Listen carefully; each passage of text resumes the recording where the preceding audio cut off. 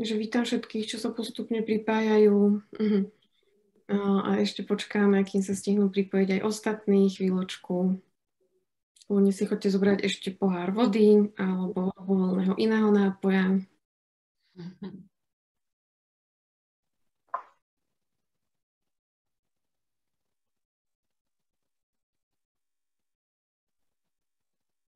Toto je pánko, čo vyzerá ako môj zákazník, celý potetovaný. Zdravím ťa. Čau. Počujete ma dobre inak? Môžete nám dať nejaké znamenie, či dobre počujete. Palec hore. Počujú dobre. Čaute, zdravím vás všetkých, ahojte. Uh-huh. Dúfam, že máte nachystané na mňa nejaké dobré otázky. Počujem, dobre, jasné. Dobre, dobre, super. Čau, Štefan. Pozdravujem. Kto ti robil tetovačky? No, zväčša ju, Juhoši. Juhoši? No, ja sa tetujem vo Viedni a toto mi, toto mi robil Denis, toto mi robila Gordana, toto tiež, toto mi robila Mária.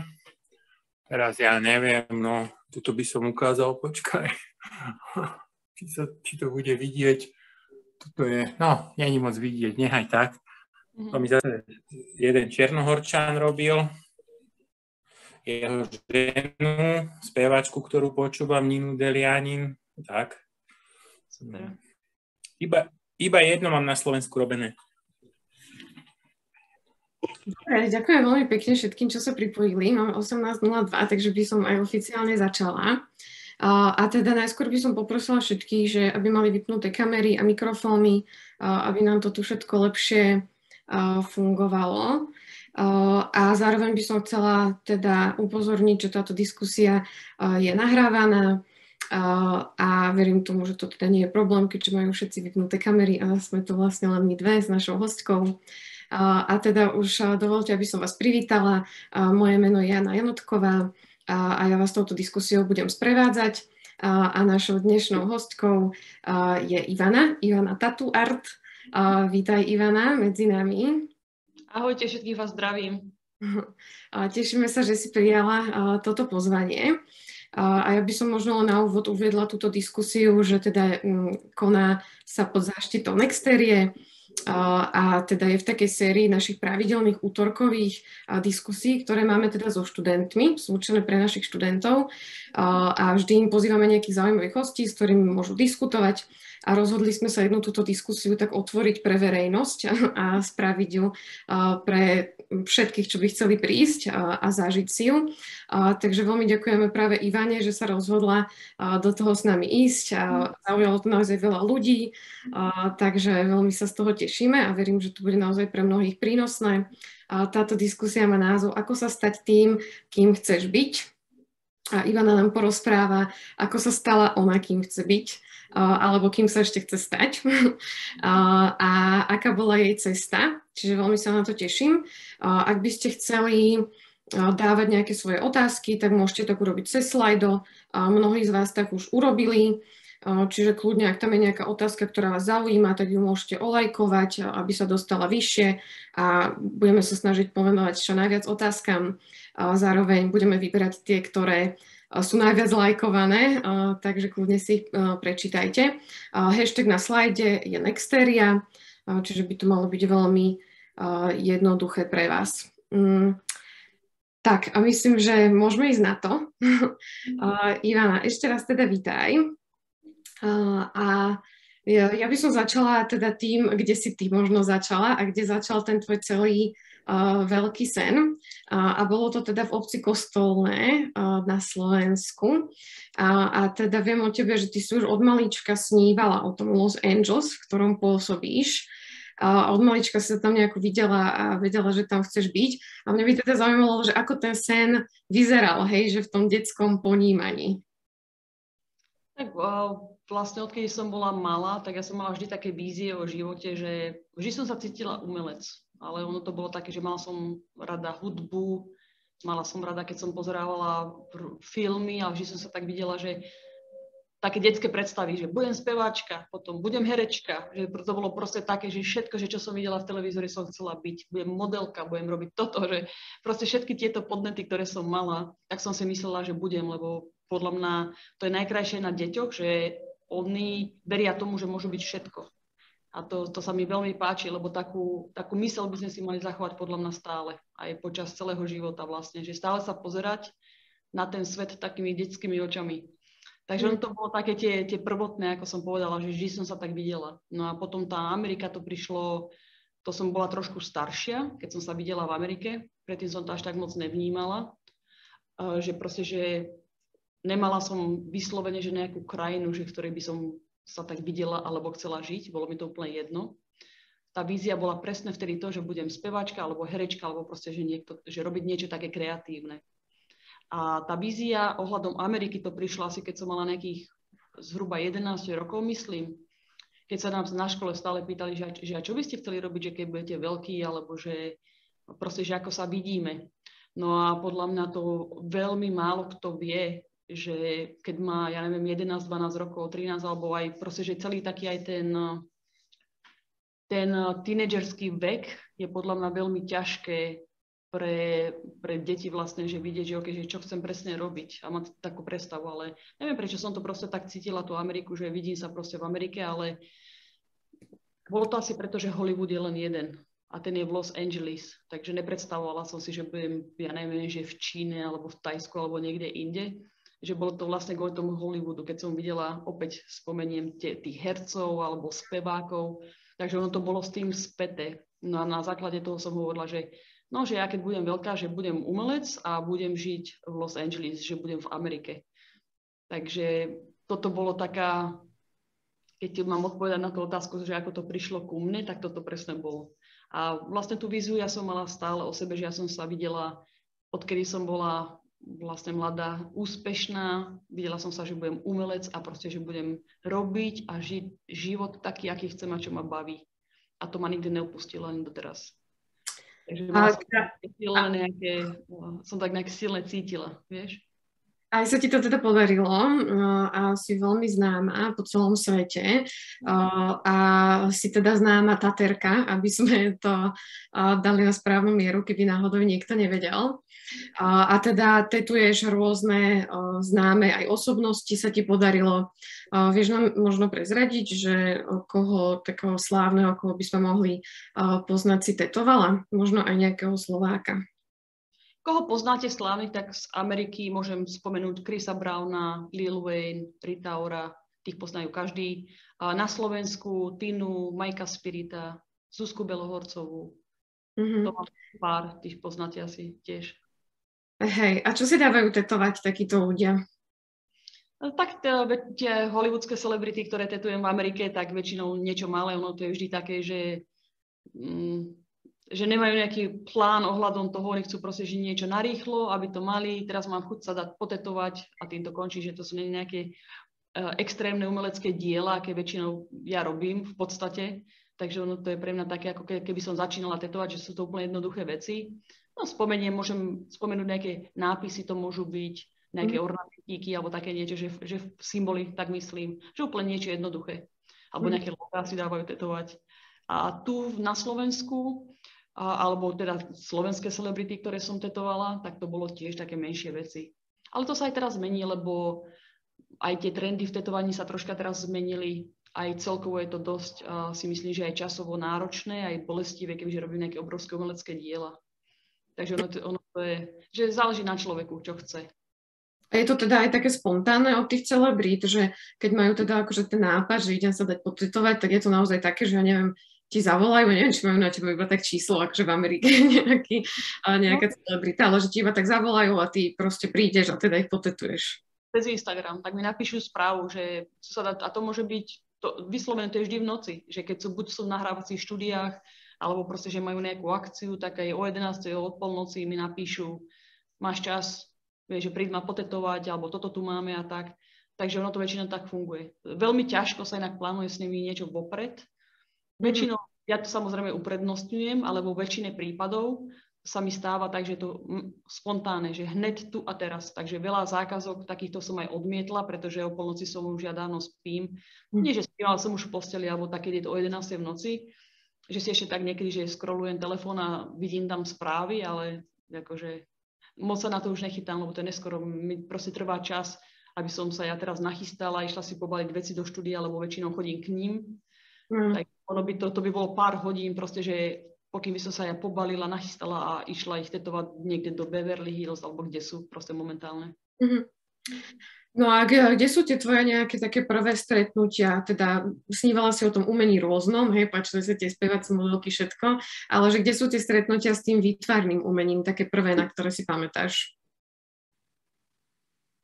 Moje prvé počiatky, keď som ja začala robiť umenie, tak to je odkedy si pamätám.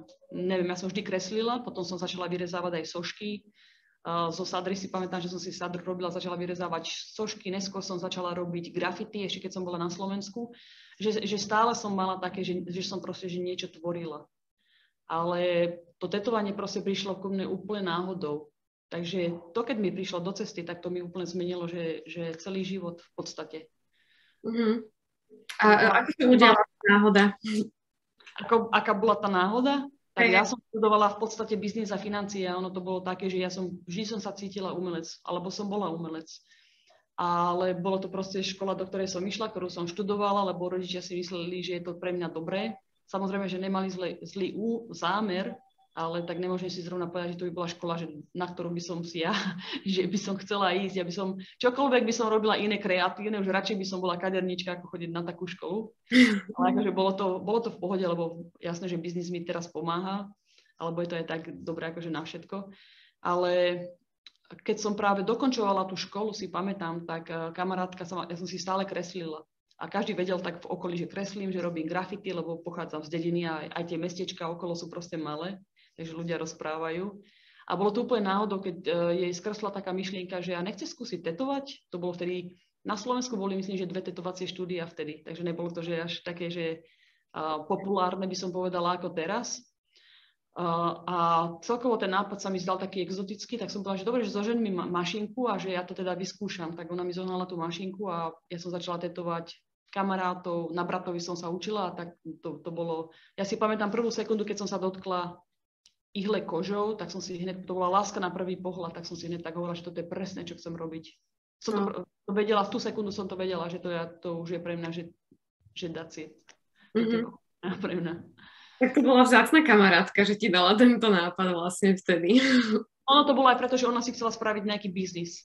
Takže mm-hmm. ono to bolo tak aj pre ňu, že by to fungovalo. Ona rozmýšľala, že čo keby si tak otvorím, že tetovacie štúdio a teraz vedela, že ja viem kresliť, tak ma na to tak akože nahovorila, že nechceš to skúsiť?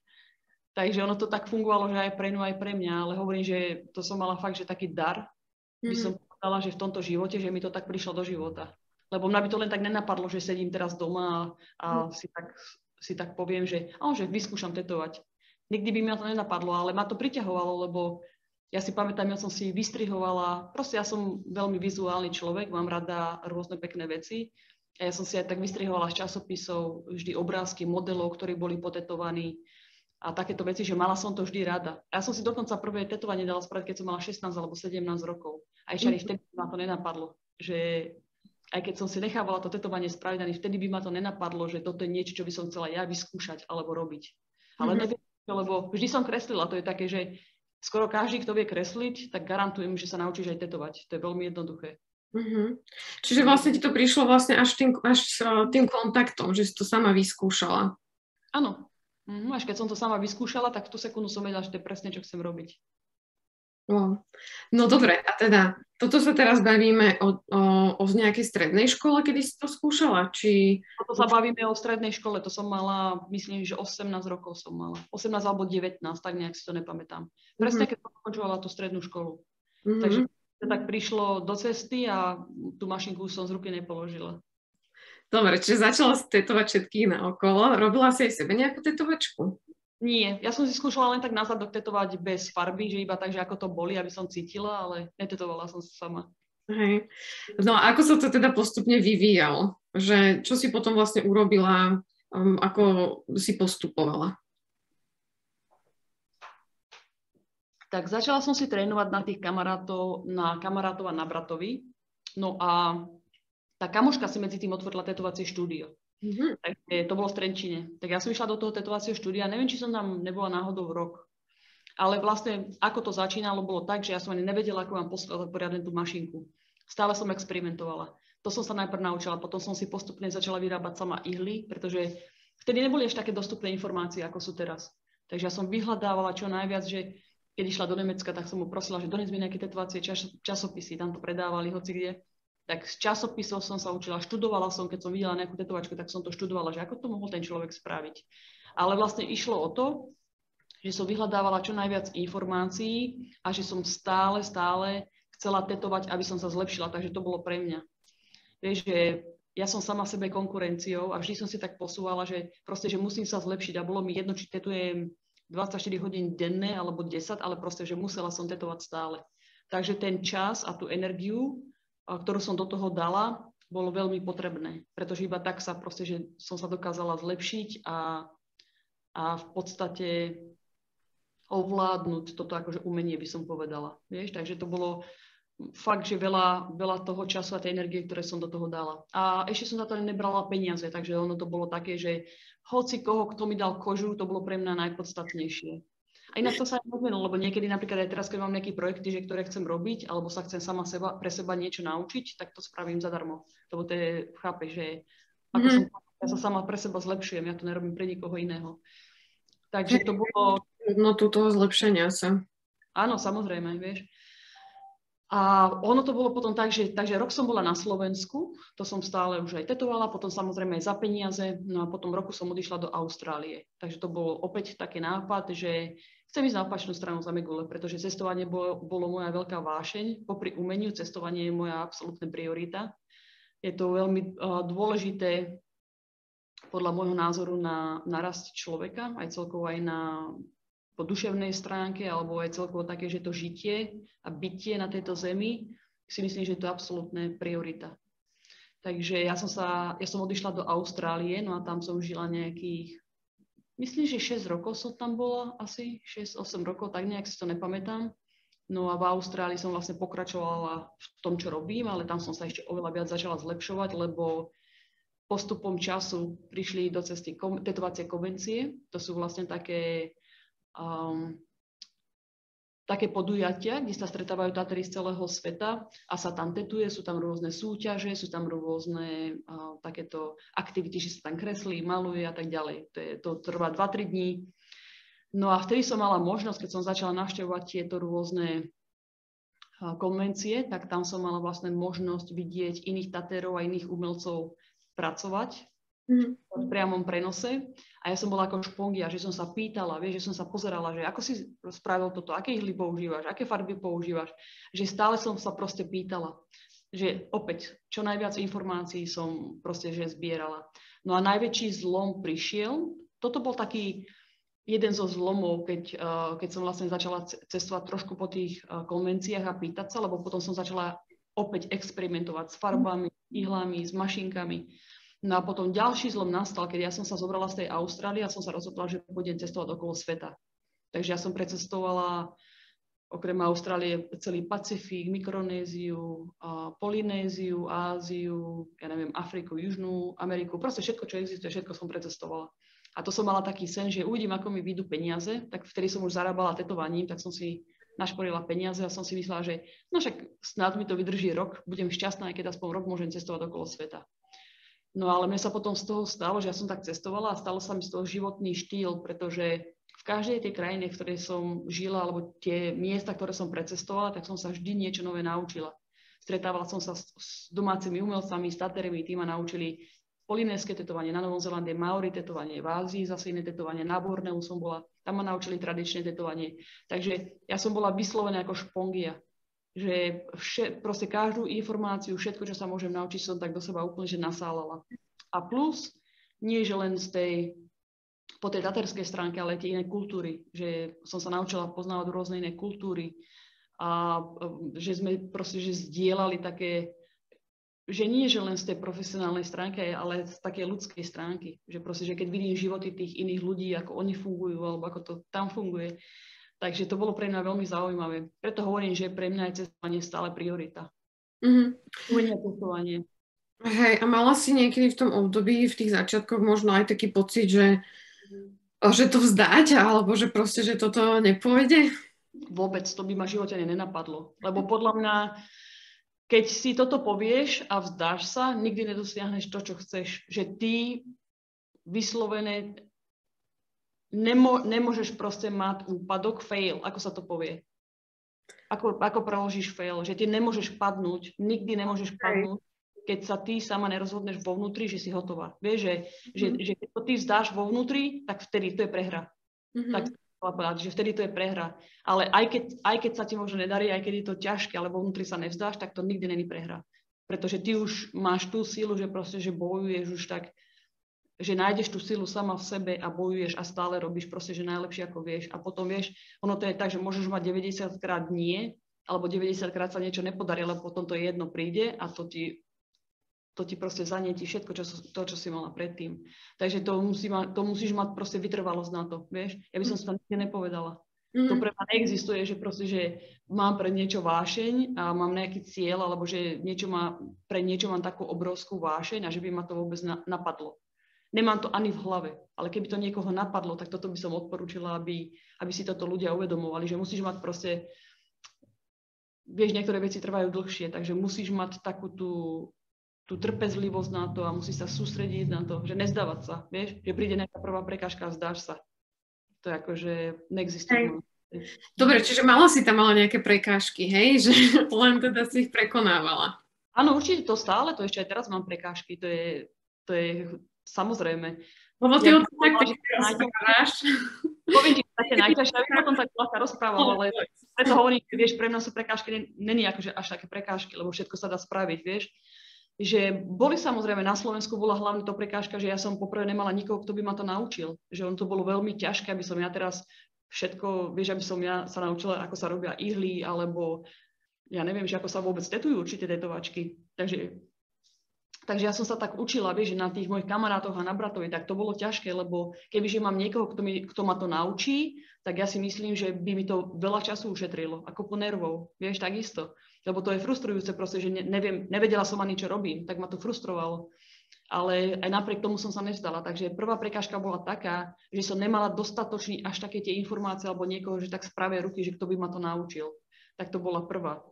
Uh, druhá prekážka, potom keď som odišla do Austrálie, mala som, myslím, že 19 rokov alebo 20, bola som mladá, nevedela som po anglicky, nemala som nejaké peniaze, na tu, mala som 600 austrálskych dolárov, to je asi 300 eur som mala, to boli všetky moje peniaze. Takže nikoho som nepoznala, takže ďalšia prekážka a bola som navyše gay.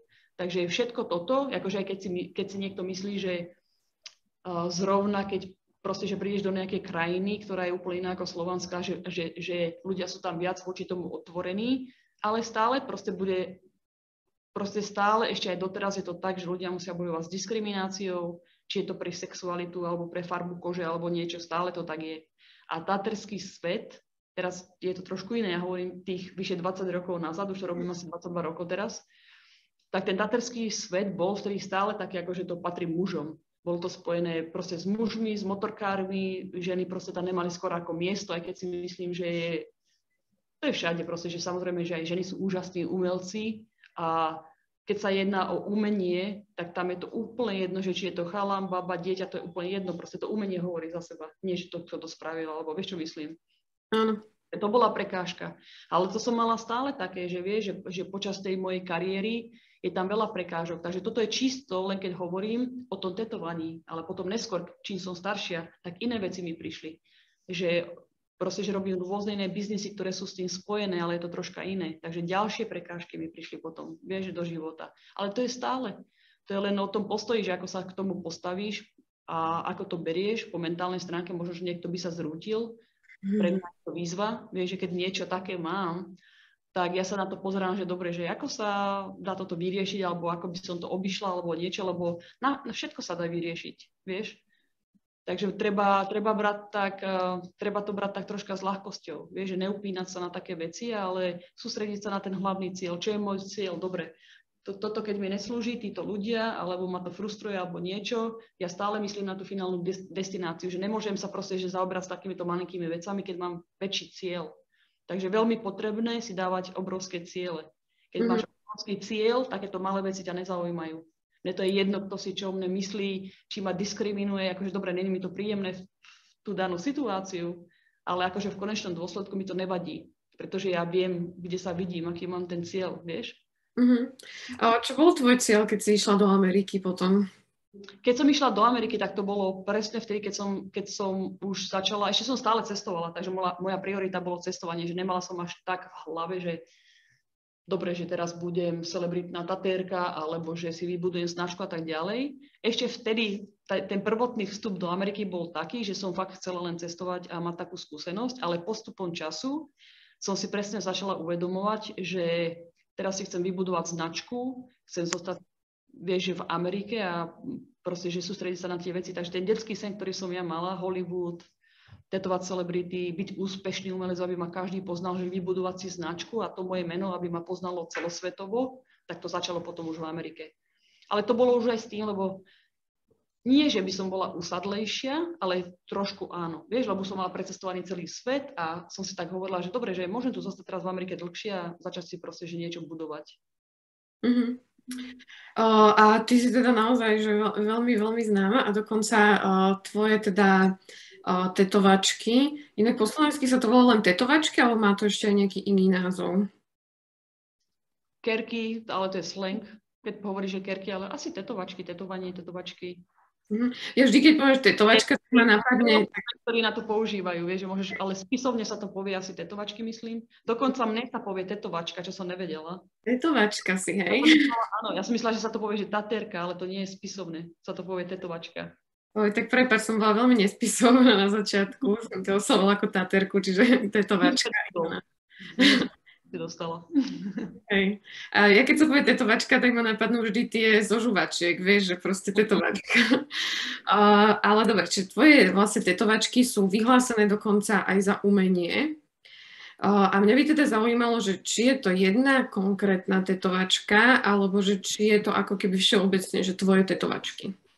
Obecne. Takže v roku 2018 sa stretli umelecké kritici z celého sveta, a pretože 60% umenia v Takže každoročne my proste, vidíme také, takéto nejaké stredenie a sa rozhodujú, vieš, o určitých umelcov. Tak vtedy tam niekto zdvihol ruku a povedali, že prečo vlastne neuznávame tetovanie ako za výtvarné umenie.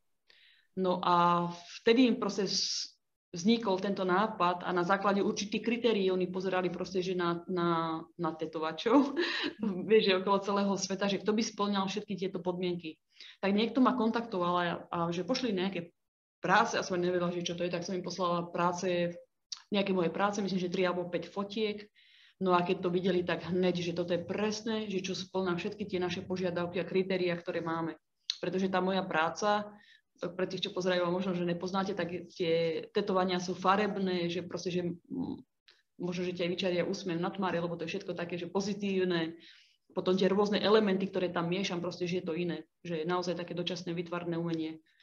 No a vtedy to bolo, vtedy to bolo proste, že tak, že sa zmenila v podstate týmto história umenia. Takže toto bolo prvýkrát v histórii umenia, kedy sa takto rozhodli, že, že proste tetovanie zaradíme ako dočasné vytvarné umenie. Takže teraz môže, môžete moje práce nájsť, v, sú zapísané v katalógu múzea Makro, múzea v Ríme, vieš, vedľa Picasa alebo rôznych takýchto umelcov. Takže to bolo, podľa môjho názoru je to naj, taká najprestížnejšia a najväčší taký bod mojej kariéry, že, že ktorá, ktorý sa stal. Lebo je vlastne prepísaná história umenia týmto. Hej, to je veľmi krásne. Som taká aj za teba. Ďakujem. Jediný, jediný rozdiel proste, že medzi tými mojimi prácami a napríklad Picasso alebo niek- niekým iným je tak, že ja mám chodiace plátna. Vieš, a moja práca je vysoko rozpoznateľná, takže keď to niekto vidí, to hneď vidí, že je to moje, moje tetovanie. Keď robím moje typické, samozrejme, nehovorím o nejakom nápise, moje typické tetovanie, to každý rozpozná. Ja mám klientov veľakrát, čo sa stretnú niekde na opačnej zeme guli sveta. Jeden môže byť z Austrálie, jeden môže byť z Ameriky a keď sa stretnú, tak hneď vedia, že je to moja práca. Že Ivana, Ivana, že to mám veľa takýchto historiek, že hneď, hneď vedia proste, že to rozpoznajú. Hej. No a to som sa aj chcela spýtať, že či sú teda niekde aj vystavené, alebo že či je to len akože zapísané je to zapísané, nemá tam, ne, neviem, inak to ti neviem, lebo ja som potom odišla z Ríma, takže ja neviem, či, či tam majú vytlačené tie, tie mm. proste fotky, ktoré som im dávala. Možno to neviem, ale je to v katalógu muzea, v knihe to je, nejakú knihu teraz spravili, mi poslali, takže, takže neviem, či, či to aj vytlačili alebo nie. Hmm, čiže to keby som chcela vlastne vidieť tvoju tetovačku, tak musím ľudí niekde vystrieť. No áno, ale, ale je, to, je to na 100% v tom katalógu múzea tej teraz knižke, čo vydali. Najno, to, myslím, že pred mesiacom asi, keď som som odchádzala na Slovensko. Tak vtedy mi tiež písali, že nejakú knihu teraz spravili, tak tam to môžeš nájsť. Ale či to, či to je ešte nejako v múzeu vytlačené, to neviem. Mm-hmm, jasne. Uh-huh. Uh, a ty si teda hovorila aj o tom, že tie tvoje tetovačky sú také pozitívne a ty sa teda všeobecne venuješ takému zameraniu na pozitívny životný štýl. Aj k tomu vedieš teda nejaké semináre, keď som sa správne dočítala. A chcela by som sa na to teba tak spýtať, že vlastne, že prečo práve táto téma, že je to niečo, čo tebe osobne pomáha? Táto téma to, to je vlastne môj osobný taký, že čo som si ja prechádzala životom a čo som sa naučila, pretože v podstate som vych, akože vychoval ma život, tak by som to povedala. Ja som odišla zo Slovenska, keď som bola mladá a bola som stále sama v podstate. Takže život ma naučil, že na rôznych tých situáciách, a, ktoré som ja pozažívala, vieš, aj počas som bývala na rôznych kontinentoch sveta. Potom som cestovala okolo celého sveta. Stretávala som sa s rôznymi ľuďmi, potom som mala, vieš, dočinenia s rôznymi vecami, ktoré som musela riešiť a tak ďalej. No ale všetko, akože teraz, keď som staršia, tak všetko sa mi to tak vykryštalizovalo a zistila som proste nejaké veci. Vieš, že mala som obdobie, keď som bola super pozitívna, keď som bola aj mladá, keď som bola dieťa a potom, keď som bola v tom tínedžerskom veku alebo aj staršia, tak som mala skoro také, že až depky by som skoro povedala. Ale bez príčiny, vieš. Ale to je pohode, proste, že nemala som takúto znalosť toho, že ako si ja mám zmeniť ten môj mentálny stav, alebo ako si pomôcť, pretože opäť opakujem, že ja som nikoho nemala proste, že kto by ma niečo naučila vtedy, ešte aj v tú dobu nebol až taký obrovský uh, výber tých informácií, vieš, teraz ideš na YouTube, máš knihy a tak ďalej. Takže ono to bolo troška iné, takže na základe tých skúseností a to vzniklo úplne inak náhodou, že počas lockdownu pred rokom a pol asi, keď bol lockdown alebo karanténa alebo niečo, tak jasné, že každého biznis bol, mal, malo to proste dopad. COVID mal dopad na každý biznis, áno. A ja som bola doma, lebo ľudia sa báli dávať tetovať. A som iba tak rozmýšľala, lebo ja rada tvorím a hovorím, že tak pôjdem aspoň na, na Facebook Live, že nech mám nejakú interakciu s ľuďmi. A to bolo prvýkrát v živote, ja som to nikdy predtým nerobila tak som tam išla, že jasné, že som sa aj hambila, ja, že neviem, čo tam mám hovoriť, že nikoho tam nevidím, že keď sa rozprávam s niekým takto, že priamo, tak je to jednoduché, ale rozprávať len tak do kamery a nikoho tam nevidím, mi to bolo také divné, ale išla som tam a niekto sa ma spýtal, že prečo si stále taká šťastná? No a vtedy to celé vzniklo, že ja som, ja, že to je dobrá otázka, tak som o tom začala hovoriť a 40 tisíc ľudí to pozeralo. Ja som si myslela, že to bola náhoda. Ja, že to bolo divné, že nikto sa ma nepýta na moje tetovačky. A za týždeň sa stalo presne to isté, tak hovorím, že a že to bola asi náhoda, že pôjdem znova na ten Facebook a že uvidím, že, že čo to vlastne bolo. No a opäť ja som prišla na Facebook a boli to hlavne ľudia z Čech a zo Slovenska, alebo Slováci, či žijúci v zahraničí. A samozrejme, že sa im páči to moje taterské umenie, ale každého zaujímalo môj mindset, nadstavenie mysle a môj životný štýl. Takže toto bolo, opäť sa ma niekto opýtal takéto nejaké veci o mojej ceste, alebo že ako robím to, čo robím a tak ďalej. Takže z tohoto celé vzniklo a opäť skoro 40 tisíc ľudí to pozrelo. Tak tedy som si tak uvedomila, že to asi nebude náhoda. Že, mm. že som si myslela, že nejaký glitch alebo že niečo. A potom som si tak uvedomila, že to asi nebude náhoda, že ja, ja vidím proste a, a tie potom tie správy všetky, ktoré som dostávala potom, že to asi nebude náhoda, že ľudia potrebujú proste nejakú inšpiráciu, nejakú nádej a hlavne v tom období, že čo sa všetko odohrávalo, alebo aj teraz to je ešte horšie, vieš, že, že po tom roku, po dvoch rokoch vlastne, už je to asi dva roky skoro, že to ľudia sú úplne steptaní po mentálnej stránke a je im to dobre počúvať, že má aspoň takú nejakú nádej alebo inšpiráciu alebo niečo pozitívne, že im vniesť do života. Takže ja som sa rozhodla vtedy na základe prvých tých dvoch videí, alebo ten Facebook Live, ktorý som robila, v tom pokračovať. Tak som sa snažila to robiť raz za týždeň, každú stredu, to som mala tak, že pôjdem tam a že budem rozprávať o niečom proste, že čo som ja prežila v živote, pretože o tom, čo ja rozprávam, to není, že, že som sčítaná, alebo som nejako, že študovala psychológiu, práve že vôbec. A ja si myslím, že preto sa to ľuďom tak páči, lebo je to niečo, čo prožívame všetci. Vieš, len veľa ľudí si to možno neuvedomuje, alebo je to úplne iné, keď to počujú od niekoho, ale tomu vedia, že prežívajú to isté, vieš. Hej. Lebo ja mám, vieš, ja som nie stále, že super pozitívna, ale viem, ako si ten stav zmeniť. Takže preto som to začala tak robiť, že proste som sa rozhodla, že tým ľuďom budem sa snažiť čo najviac byť takto online a rozprávať sa s nimi na témy, ktoré ich zaujímajú, témy, ktoré preberáme a najväčšie témy, poviem prvé tri, je sebaláska, gej vzťahy a manifestácie, čo je priťahnutie vecí do života, ktoré chceš. Toto sú tri najväčšie témy na mojom YouTube kanáli. Môj YouTube kanál Ivana Tetuart, môžete si pozrieť. A tam mám, tam mám kategóriu inšpirácia a motivácia. Tam dávam všetky tieto videá, aby sa im to ľahšie pozeralo. No a potom tam riešim témy ako, ako žiarlivosť, hnev, uh, ako si zvýšiť energiu, ale vlastne všetky tieto témy je niečo, čo som ja osobne prežívala a keď si sa ma pýtala, že prečo som to proste, že takto začala robiť, tak je to kvôli tomu. A baví ma to inak ešte viac ako tetovanie. Takže keď ja môžem niekomu pomôcť, to je, to je niečo, čo chcem po sebe zanechať. Že okrem krásneho umenia chcem toto po sebe zanechať, lebo vieš na svete koľko biliónov ľudí. Teraz ja keď zmením jednému život pozitívnym spôsobom na základe toho, že videl moje video alebo že ho niečím inšpirujem, tak, tak to je pre mňa neskutočná, proste mi to spôsobuje radosť, aj také naplnenie vnútorné. Vieš, preto som aj teraz tu, že keď viem proste, že, že máme tu ľudí, že ktorých to, ktorí možno, že získa nejakú informáciu odo mňa, že ich to nakopne, alebo že ich to inšpiruje na niečo, tak to je pre mňa niečo, čo mi spôsobuje obrovskú radosť. Vieš, lebo teraz som mám 41 rokov a som v takej etape v živote, že sa cítim neskutočne šťastná.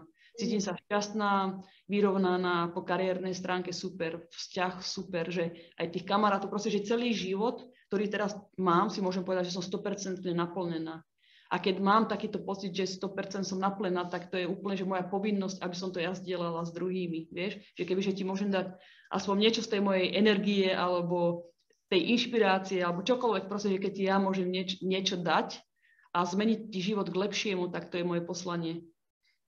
Lebo každý chceme to, každý chceme to isté. Vieš, každý chceme byť šťastný, chceme byť lúbený, že chceme mať všetky tieto krásne veci v živote. Ale práve, že my sami si to aj stopujeme, vieš? Že mm-hmm. si mhm. sa tie, tie veci, ktoré chceme na základe nášho myslenia, lebo to nemáme dobre nadstavené, vieš? Takže ja ľuďom vlastne hovorím o tom, ako si triediť tie negatívne myšlienky od pozitívnych, ako sa nadstaviť, ako proste robiť určité veci. Hej. A ty si teraz aj na Slovensku. Súvisí to nejakým spôsobom, že máš nejaké plány aj na Slovensku? Tak určite áno. Ja, ja vlastne teraz budem, mám taký plán, že budem žiť pol na pol, takže 6 mesiacov v Amerike a 6 mesiacov tu v Európe. Budem v Bratislave, ale mám potom samozrejme, že aj po Európe nejaké veci, ale toto bude akože taká moja základňa, by som povedala. No a prečo som tu je presne to? Presne ako si povedala, je to, alebo toto, o čom som teraz sa bavila, lebo je mám tu neskutočne veľa príležitostí a ja cítim, že, že tí ľudia, to, oni sú hladní až za tým, vieš, oni sú hladní za takýmito informáciami, alebo um, že vyhľadávajú ne, nejakú takú inšpiráciu, také, také nakopnutie, alebo takú tú energiu, vieš, že oni to potrebujú. Takže áno, aj na základe, aj preto som vlastne tu, teraz na Slovensku. Ja som tu bola pred šiestimi týždňami a ja som sa vrátila z Ameriky naspäť sem teraz na Slovensko. Akože poviem ti úprimne, nechce sa mi tu byť moc, keď je tu zima. Sú tu lockdowny, je tu zima, akože zrovna môžem ísť do Kalifornie, kde mám 25 stupňov každý deň, mám tam slnko, more, ja bývam pri mori, mám všetko je otvorené, môžem tam byť. A, môžem, a takisto budem mať krásny život a robiť to, čo ma baví. Ale práve ja som tu teraz na toto, aby som, lebo hovorím, že mne to spôsobuje radosť, ale som tu na to, že chcem proste dať tým ľuďom niečo, aby som, aby som im mohla pomôcť zmeniť ich život k lepši- niečomu lepšiemu, vieš? Mm-hmm. Vnímam túto tvoju obetu, lebo neviem, či by som sa dokázala z Kalifornie vrátiť teraz na Slovensko do tejto zimy. Ale to je to, chcem iba povedať, že pre mňa to není obeta. Vieš, lebo mňa to niečo, keď, mám, keď, máš pre, že keď mám pre niečo vášeň, lebo ma to baví a spôsobuje mi takú radosť, takže pre mňa to, mne to dodáva energiu. Vieš, ono to je taká výmena presne, že ja robím niečo, čo ma neskutočne baví a spôsobuje mi radosť, takže pre mňa to není obeta, ja som úplne, ja úplne, že lietam z tohto, mi to dodáva energiu, vieš. To sa veľmi teším. Ja ti dám z mojej strany poslednú otázku a potom prejdeme na otázky zo slajda. A moja posledná otázka teda bude, že kto, ty hovoríš teda o tom, že vlastne mm, vnímáš to, že rada teraz inšpiruješ ľudí a že im posúvaš to, čo si možno našla niekde v svojich etapách rôznych životných, mm. ale kto je pre teba, alebo čo je pre teba inšpiráciou? Život. Jednoducho povedané život, pretože každý sme tu na to, každý máme nejaké životné poslanie, na to sme tu. Ja to vnímam troška z tej spirituálnej stránky, vieš. Toto telo, to je nič. Ja som energia, chápeš? Ja som neskutočná proste, že energia. Takže toto je len taká schránka, čo, čo ja tu používam, keď som tu na zemi, hej. Ale po tej spirituálnej stránke je to tak, že každý tu máme proste svoje poslanie, vieš. A to je pre mňa obrovská inšpirácia, že ja mám možnosť tu byť teraz na zemi, vidieť všetky tieto krásne veci. Ja milujem prírodu. Všetko milujem úplne. Vieš, že pre mňa je to neskutočná radosť, keď sa ja ráno zobudím, že mám nový deň a môžem všetko prežiť. Môžem prežiť to, že vidím krásne veci okolo seba, ľudí, ktorých milujem, alebo všetky tieto príležitosti, ktoré, ktoré mi prídu. Vieš, že počas dňa, alebo takže celkovo. Takže život je pre mňa obrovská inšpirácia, lebo môžeme mať všetko, to len na nás. Vieš, že keď si ty nezoberieš od života, čo chceš, to je len tvoja chyba. Vieš, že veľa ľudí sníva a tak ďalej, ale je to len tvoja chyba, lebo ja to vždy tak hovorím, že to je ako bufet. Keď mm. prídeš na nejaký bufet, kde máš, ja neviem, lobstre, krevety, šunky, prošuta, šampanské, všetko, čo chceš, a niektorí ľudia prídu do takého bufetu, poznám takých ľudí osobne a oni sa zoberajú chleba alebo niečo, že len tak, že ne, že to troška to stačí, to stačí. Tak to je na tebe, lebo nikto, nikto to neobmedzuje. Ty sa obmedzuješ sama seba. Vieš, takže ja stále hovorím, že to je ako bufet, proste keď prídeš tam, ja som zase taký človek, že ja prídem a zoberiem si všetko. A ešte tam prídem ešte 4 krát a zoberiem si všetko, pretože kto ma obmedzuje? Nikto že koľko vládzeš, koľko chceš a čo chceš si zobrať z toho života. Vieš? Takže toto by bolo niečo také, že podľa mňa na to si treba pamätať, lebo celkovo proste, že je toľko hojnosti na svete, ale ty keď neveríš, že si to zaslúžiš, alebo že to môžeš mať, alebo jednoducho si to nechceš zobrať, z hociakej príčiny, to je na tebe, tak ty sama seba sa limituješ, vieš? Mm. Ale potom... Pre každého je všetko, vieš. A preto aj ty, keď hovoríš, že ja nemám, ja, pretože ja nič neschovávam, alebo že sa nechcem podeliť s niekým o niečom, alebo niečo sú tajné informácie. No není sú, pretože ja viem, že to, čo ja mám, volaj to Boh, volaj to vesmír, to je jedno, tak je to pre mňa. Nikto mi nemôže nič vyfúknuť, čo je pre mňa, je pre mňa. Chápeš? Hej. Ako keď pôjdeš, dám ti príklad, prepáč, že preruším, ešte chcem mať Keď dám príklad, sa to ľudia vedia lepšie predstaviť. Keď ideš do mora, dobre, si predstav, že ideš do mora a ja ti dám, ja neviem, dám ti takýto pohárik vody, dobre, dám ti tento pohár vody, dám ti potom nejaký takýto, že krčach vody, ale bez, bez toto, iba krčach, tak myslím, prepáč, pohár, krčach a dám ti, povedzme, ja neviem, obrovské niečo, nejaké, nejakú obrovskú, ako sa to povie, cisternu, dobre? Tak choď k tomu moru a zober si takto. Dobre, zober si do pohára, zober si do krčaha a zober si do tej cisterny. Ty vidíš, že by niečo ubudlo z tej vody? No jasné. Presne. Ty si zober to, čo chceš, takže každý si od života môže zobrať, čo chce. A keď si to nezoberiete, to vaša chyba. Vieš, netreba za to viniť okolie rodičov, čo sa mi stalo, keď som bola malá, koho to zaujíma. Akože ty si zober, čo chceš. Lebo ľudia často, vieš, ono to je jednoduchšie si hľadať proste, že nejakú príčinu alebo viniť za to niekoho iného. Ale v konečnom dôsledku to je len na tebe. To nikto za teba nič nespraví, vieš? Že netreba nikoho.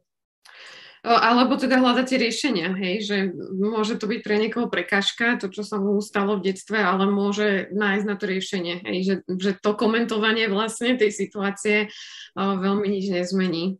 Ale ja som chcela povedať, že mi sa páči, že ty o tom hovoríš, hej, že zobrať si, ale ty dávaš späť, vieš, že, že to sú vlastne tie veci, ktoré si doteraz hovorila, že ťa potom teší ako keby aj iným to ponúknuť. A dať... Lebo mám povinnosť, chápeš, že keď má niekto slabú mentalitu v takom zmysle, že chudobnú mentalitu, tak by som to povedala, lebo kopu Slovakov je jednak tak vychovávaných. Aj tá moja generácia tak bola vychovávaná, vieš. Zes všetko jedlo, lebo chápeš, tam sú deti v Afrike, neviem čo, a nebude sa nič vyhadzovať, alebo taká mentalita, že ja neviem proste, že máš chudobnú mentalitu. Vieš, čo myslím, že sa bojíš, máš 100 eur a budeš sa teraz one báť, neminieš, čo nechce, nekúpiš, lebo musíš šetriť. Toto je podľa mňa slabá mentalita. Akože nehovorím teraz, že, že buď rozšafná alebo niečo, ale to, to, je, to, je, to je taká slabá mentalita v tom, čo chcem vysvetliť. Vieš, že veľa ľudí to takto má a ja nemám teraz takú mentalitu, lebo ja cítim tú hojnosť a ja viem, že tej hojnosti dostanem ešte viac, že nebojím sa, vieš, že nebojím sa teraz, že zajtra, že prídem o niečo, že prídem o peniaze alebo o niečo. Ja nedokážem, ty nemôžeš žiť v strachu, vieš, takže ja nerozmýšľam tak, že treba, ja sa vždy sústredujem na, tak na prítomnosť a samozrejme, že aj do budúcnosti, aj plánovať a tak ďalej, ale vždy si hovorím, záleží aj, aké otázky sa pýtaš, vieš, ja si, ja si vždy tak hovorím, že vieš, peniaze prídu stále. Peniaze sú energia. Vieš, že nebojím sa o to. Nebojím sa teraz mínať peniaze alebo niečo, lebo verím tomu, že ich mať budem. Ale keď si tým, vieš, keď si, začnem, keď si ty začneš myslieť, že ne, že budem to šetriť, teraz sa bojím a čo keď nebudem mať potom a čo sa stane a potom a tak, tak ich nebudeš mať presne, lebo si vytváraš tú energiu okolo toho. Vieš? Mm-hmm. Takže ono to, ide, ono to je spojené so strachom, by som povedala. Hej, to som chcela ešte tak povedať, že je to taká, ako keby, že veľa ľudí sa mm-hmm. je báť a báť a báť, hej, že, mm, že no, potom... Netreba sa báť, nie, nie. Musíš brať, presne sa opäť vrátim k tomu začiatku, ber život s ľahkosťou. Nemôžeš sa báť, keď žiješ v strachu, životy nič nebudeš mať. Musíš, ma, musí, musí byť fakt taká byť, pozeraj sa na svet takými detskými očami, že buď stále zvedavá, že hr, hraj sa, ako by si sa hrala, vieš, že ja to mám aj tak, že nemôžeš byť až taká realistická akože istým spôsobom bol, alebo ja som taká není, vieš, že nemôžem byť až taká realistická, veď čo sa stane, vieš, že jediné meritko v mojom živote je smrť. Mm-hmm. Takže čo je najhoršie, tak umreš, no tak to bude asi najhoršia vec, čo sa ti stane. Ale všetko, čo sa stane predtým, to sa dá, vieš. Hej, a na niektoré veci sa človek ani nevie pripraviť, že sa bojí všetkého naokolo, ale potom aj tak príde niečo, na čo ako keby nebol pripravený, takže Dobre, ale poďme na tie otázky zo slajda, lebo ja by som ti dávala aj do nekonečna ďalšie. Čiže máme tam otázku, že typ alebo vlastnosť, ktorá sa v zahraničí mladým Slovákom zíde. Čo je v zahraničí potrebné, žiadané. A možno môžeš povedať aj na Slovensku. Mindset, mindset, to je číslo jedna, ako to máš v hlave spravené. Musíš byť silný v hlave, keď si není silný v hlave, tak to nedáš proste, vieš? Že musíš si proste ísť za tým, keď sa pre niečo rozhodneš, tak musíš si ísť za tým ale to je všetko v hlave nadstavené opäť. Keď budeš rozmýšľať negatívne a budeš sa báť, presne to si do života privoláš. Mm. Ale, ale keď si to zmeníš a budeš rozmýšľať nad tým, čo dobre sa môže stať, troška iné otázky si treba dávať, čo dobre sa môže stať, čo nové mi tento deň priniesie a tak ďalej. A že budeš stále, ten hnací motor budeš mať taký, že na tú pozitívnu nôtu, tak presne to si dáš do života. Vieš? Takže ale to by som povedal, že v hlave to musíš mať najprv spravené dobre. A to potom dáš, to budeš silný, vieš? Mala si v tomto aj nejakú podporu, že keď si ty bola v zahraničí? Nejakú. Veď vždy život ma naučil, preto, preto ja som si to tak odskákala, aby som povedala, že, že tak ťažšie, lebo som sa, všetko som sa proste naučila na vlastnej koži a lekcie, ktoré som sa nenaučila, sa mi stále opakovali. Ale toto môžem povedať viac o vzťahu, ale hoci aké vzťahy, môže to byť pracovné vzťahy, môže to byť partnerské vzťahy, to ma, na to ma to najviac naučilo, že každý vlastne koho inak stretnete v živote, tak je vlastne váš učiteľ, vieš. A hlavne, keď sú to také negatívne veci, tak to je niečo, že úplne sa to odráža od vás, takže na to si treba dávať pozor. Ale každý človek proste, že vzťah, ktorý máte, tak vždy vás niečo naučí. Takže akurát bolo to, že som sa to naučila na vlastnej koži a dlho mi to trvalo a tie najtvrdšie lekcie boli vlastne najlepšie. Mm-hmm. Tak som to ja mala. A bola som aj tvrdohlava veľakrát, vieš že som išla vyslovene, že hlavou proti múru a neslúžilo mi to. Že tam, tam si musíš vždy uvedomiť taký moment, že dobre, tak toto asi není cesta, vieš. Lebo v prírode, príroda je moja najväčšia inšpirácia, tiež je život a príroda, to je také spojené so mnou, že keď sa pozrieš aj na vodu, že tá voda si vždy tak nájde, že ona, ne, ne, on teraz sa nezastaví, aj keď mm. tam zrovna niečo, že ona si vždy nájde niečo, aby išla okolo, že to stále musí mať taký ten flow, vieš. Hej. Takže taký by mal aj byť život, že nemalo by to byť až také ťažké, vieš. Mm-hmm. Chápem. Mm. Ale dobre, poďme na ďalšiu, že keby si mala dať spätne ako svojmu mladšiemu ja v našom veku, predpokladám, že je to vek, teda dajme tomu nejakých študentov idúcich na vysokú školu alebo vysokoškolákov, cennú radu, aká by to bola? Ja by som asi, dobre, obklopovať sa ľuďmi, toto je prvé, čo ma napadlo, je veľmi dôležité. Obklopovať sa ľuďmi alebo vytvoriť si také zázemie tých ľudí, ktoré, ktorí vás podporujú, ktorí sú možno že aj lepší ako vy, lebo potrebujete proste niekoho, kto vás potiahne hore. Že obklopo, obklopovať sa takými ľuďmi proste, že ktorí majú dobré vízie, ktorí sú inteligentní, ktorí sú úspešní a tak ďalej, že na, to je veľmi dôležité. Alebo aj láskavý samozrejme, že aj po tej inej stránke, že vie, že Takže to si myslím, že je veľmi dôležité, lebo často, keď sú ľudia mladí, a tiež to viem podľa seba, keď sa dostanete do zlej partie, alebo má, ste obklopení okolo seba ľuďmi, ktorí vás možno využívajú, alebo že vás ťahajú dole akýkoľvek spôsobom, že keď vás proste ťahajú dole a nepodporujú tie vaše vízie, sny, alebo že čo chcete, a že sa nevyvíjate po, nejako ani po, po mentálnej stránke, po tej psychickej, alebo ako človek, tak toto je v prvom rade, čo by som povedala, že treba spraviť. Takže vždy sa treba obklopiť aj v takomto veku úspešnými ľuďmi. A úspešnými poviem po každej stránke, po spirituálnej, alebo vieš, ako sme sa teraz, teraz čo som to rozoberala, tak presne po takej stránke. Čo vás podporujú, od ktorých sa môžete niečo naučiť, niečo dobré, dobré návyky, vieš. Hm. Čiže nemusí to byť len, že úspešný v zmysle kariéry, hej, že tento človek je CEO niečoho.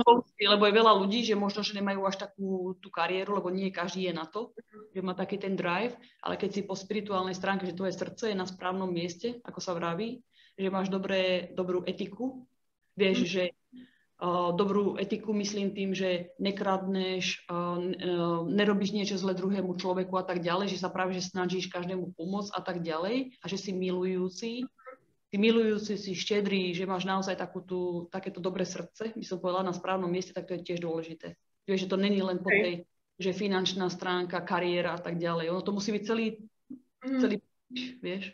Áno, lebo je pravda, že každý, každý môže mať iné tie ciele v živote, že nie pre každého ten úspech musí byť len ten kariérny, pre niekoho to môže byť aj rodina.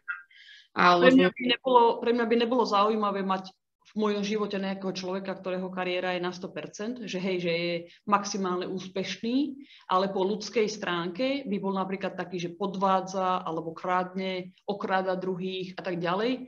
S takýmto človekom nechcem mať dočinenia. Takže to je to, že treba, vieš čo myslím, že musí to byť aj po tej, po tej spirituálnej stránke. Hmm, hej, čiže v tej celistvosti, hej, tej osobnosti. Ako keby. Áno, to musí byť fakt, že, že celý balík. Hej, čiže kľudne to môže byť aj moja babka, hej, že keď sa o tom bavíme, že obklopovať sa ľuďmi, tak tými správňakmi. Áno, ale aby ťa posúvala hore, samozrejme. Vieš, hej. že na to potrebuješ niekedy aj viacej ľudí, nielen jedného. Vieš, že preto máme tých kamarátov, že tento je dobrý po tejto stránke, ale akože všetko je to dobré, že ťa to posúva hore. Takže mm-hmm. buď po spirituálnej stránke, tento kamarát napríklad je maximálne inteligentný a presne vie, že ako investovať do krypto, tak sa s ním bav, lebo ti možno pomôže, ako ty môžeš investovať do krypto a pozvihne ťa to.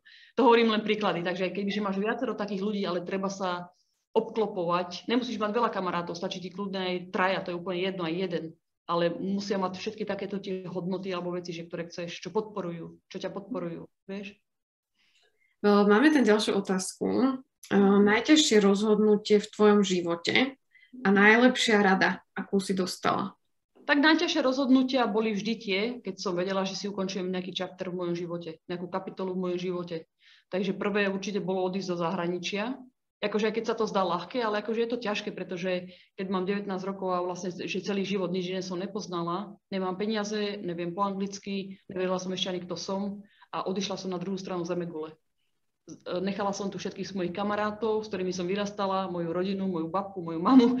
Akože vieš, čo myslím, takže nebolo to, že také ľahké sa teraz zbaliť a odísť. Nič som nemala, jeden backpack som si zobrala so sebou. Jednu kapsu, to bolo celé, to bolo všetko, čo som ja mala, takže celý život som to nechala na Slovensku. No a potom som to ešte párkrát tak spravila, aj z Austrálie, keď som odišla. Takže to boli vždy najťažšie, najťažšie moje rozhodnutia, ale najlepšie.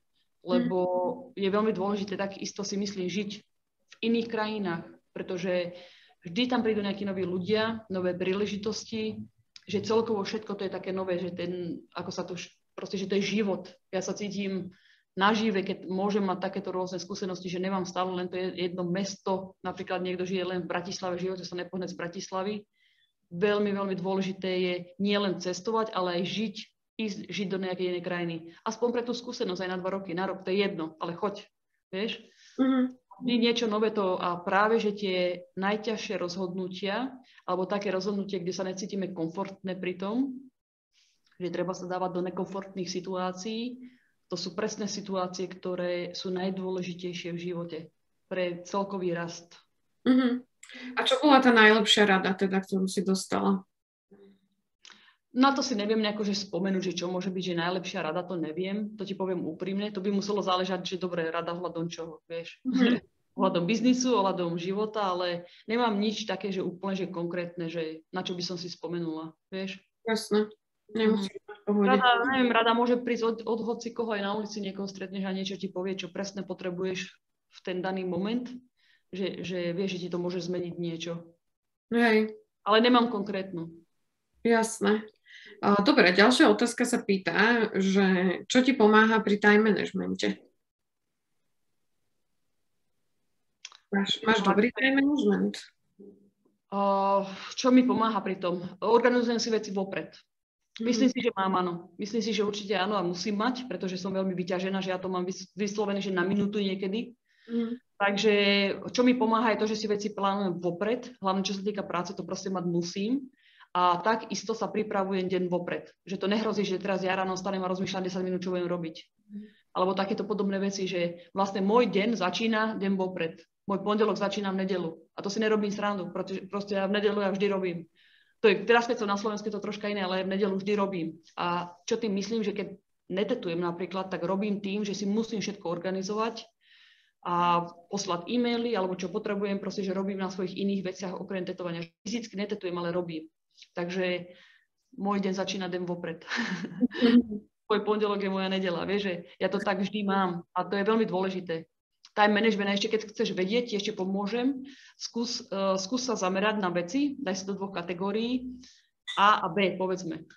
V Ačku by si mal mať veci, ktoré ti najviac slúžia na dosiahnutie tvojho cieľu, čo tam najrýchlejšie posunú a najviac si pomôžu na dosiahnutie tvojho cieľa. A Bčko kategória by boli veci, Môžeme sa baviť aj o meetingoch alebo veci, alebo čo treba spraviť, aký e-mail poslať, čo treba vyhľadať a tak ďalej, ktoré sú není až tak v tej kategórii A, ale sú dôležité. Vieš, mm. že mhm. všetky veci sú dôležité, ale potom si to rozstredíš na Ačko, Bčko a v tom Ačku, v tom Ačku budeš presne vidieť, že ktoré veci sú priorita. A to sú presné veci, ktoré sa ti nebudú chcieť spraviť. Mm. A rozdiel medzi úspešným človekom a neúspešným je presne to, že úspešní ľudia robia veci, ktoré nechcú robiť ktorí nechcú robiť tie neúspešní. Vieš? Ja to viem aj podľa seba, že presne, že čo sa mi najviac nechce, je presne vec, ktorá potrebujem úplne, úplne najakutnejšie. Takže to, je, to ti môžem poradiť v tomto. Plánovať si všetko vopred a deň vopred hlavne na ten druhý deň, že ráno staneš a už hneď presne vieš, čo robíš a potom si rozdeliť veci na, na dve kategórie, Ačko, Bčko. Mm-hmm. Nestáva sa ti, že máš niekedy aj kategóriu C, že také veci, ktoré proste úplne ano. vyhodiť. Áno, absolútne, ale tu kategórie C sa snažím potom dať niekomu inému, alebo to robím, že vyslovene, že buď keď som niekedy, že maximálne unavená, fakt sa neviem sústrediť na Ačko alebo na Bčko, tak to si už len robím, že tak. Akože všetky sú potrebné inak, tie kategórie. To máš absolútne pravdu. Ale to, to hovorím, že buď to dám niekomu spraviť, alebo to robím, keď som, že nemám až tak toľko energie, alebo vyslovene, že keď mám voľný čas, ale to sa mi moc už ani nestáva, že by som mala nejako, že extrémne voľný čas na takéto veci, vieš. Mm. Mňa ešte napadla taká otázka, že koľko teraz sa venuješ tetovaniu? 22 rokov, 22 rokov zhruba. Ale myslím teraz tak akože, že denne, že na dennej báze, že... A to nie, na týždennej, hej? Že... Nie, na, de- na dennej báze vôbec nie. Ja by som povedala, že ja tetujem, ja to poviem na percenta do roka, možno 30% do roka a zbyčok cestujem. Mm-hmm. Mm-hmm. Alebo sa venujem iným aktivitám. Mám takisto modnú značku pod názvom ITA Los Angeles, ITA Ivana Tattoo Art Los Angeles že vlastne ja mám teraz to troška, to tetovanie, ja som teraz, to je Ivana Tetuár, je životný štýl, lebo ja tam mám potom viacej veci, ktoré robím. Mám aj web, web stránku, vieš, že permanentné make-upy, oblečenie tam mám, doplnky rôzne, no a postupne pridávam, vieš, takže ono, ono to je taký celý komplex, by som povedala, no a všetko si vyžaduje pozornosť, samozrejme, takže tetovanie je u nás stále, by som povedala, číslo jedna, ale už vidím, že vieš, že niektoré veci sa dostávajú viac do popredia a musím im venovať pozornosť. Takže mm-hmm. ono sa tak troška mení, 30% zhruba. Mm-hmm. Ale máme tu takú otázku, ktorá sa teda týka asi tej kategórie, že možno niekto ešte úplne nenašiel to, čo ho baví a teda sa pýta, že akým spôsobom nájsť niečo, čo ťa naozaj baví. Viacerými, viacerými spôsobmi, že keď napríklad, alebo ty, že čo je tvoje poslanie, alebo nájsť si, že čo ťa baví, takže budeš vyhľadávať situácie a vyskúšaš rôzne situácie, vieš. To je to, čo som hovorila, že hýb sa, choď, vieš, choď tam, choď tam, spoznávaj ľudí, rob si kontakty, cestuj, lebo to nikdy, nikdy nevieš, čo ti príde do cesty, vieš. Toto je číslo jedna. A keď niekto nevie, ako si nájsť poslanie, podľa môjho názoru poslanie nájdeš vo svojom talente. Že každý z nás má nejaký talent. Mm-hmm. Ja som nestretla človeka, ktorý nemá nadanie na niečo. Vieš, že každý má nadanie na niečo iné.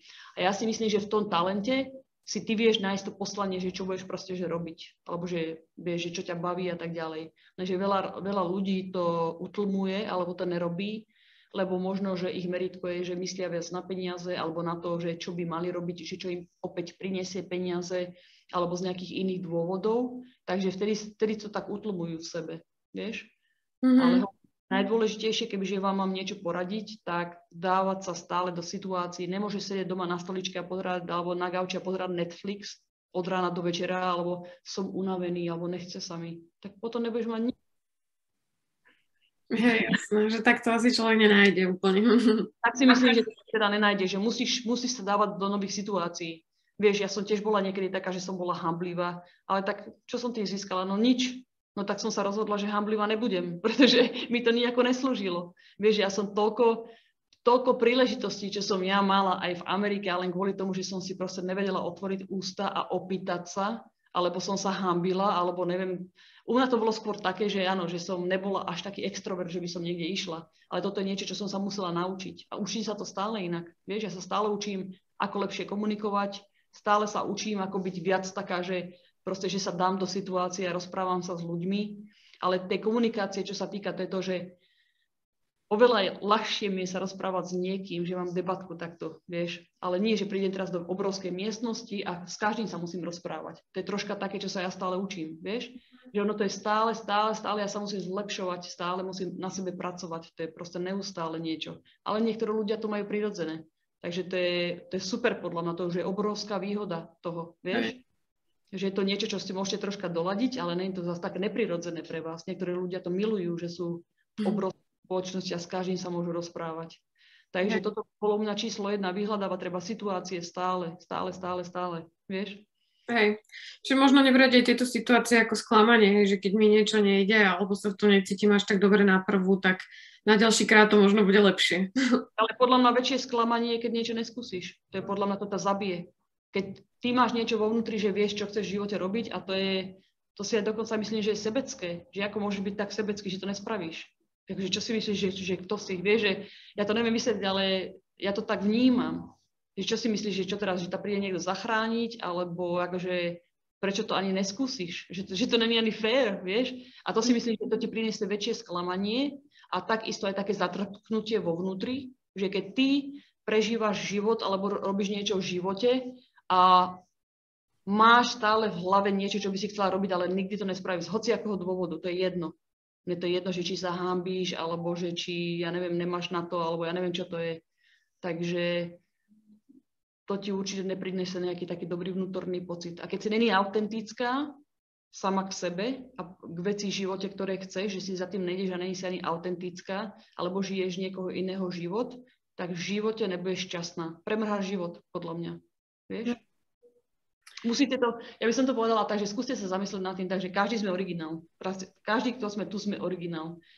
Takže vy si musíte žiť život podľa seba. A ja viem, že vo vnútri to skoro všetci vedia, alebo som si tak istá, že skoro, že nie, že skoro, všetci to vieme vo vnútri. Lebo vieš, ty sa poznáš istým spôsobom, ty vieš, čo máš rada, ty vieš, čo chceš tolerovať, ty vieš, aký chceš mať život, alebo že čo chceš mať, alebo každý to z nás vie, lenže pre ľudí je ľahšie žiť niekoho iného život, alebo byť taký navigovaný niekým iným, alebo robiť kompromisy, ktoré vo vnútri vieme, že to je proti nám, vieš?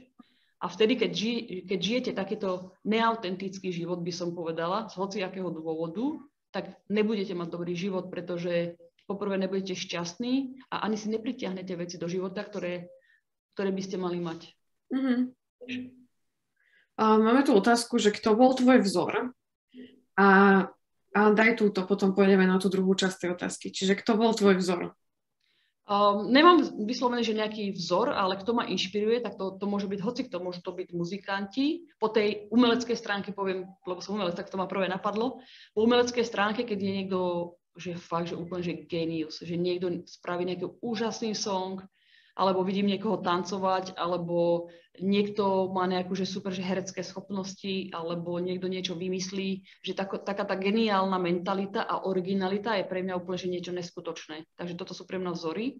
Mm. A potom takisto lídry. Že keď ľudia, ktorí niečo dokážu a, a zlepšia život niekomu inému, alebo vymyslia niečo, čo pomôže ľudstvu, toto sú pre mňa vzory.